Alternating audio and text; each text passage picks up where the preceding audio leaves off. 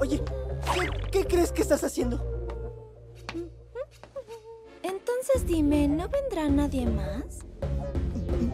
¿Podría ser que estemos a solas? ¿Tú y yo?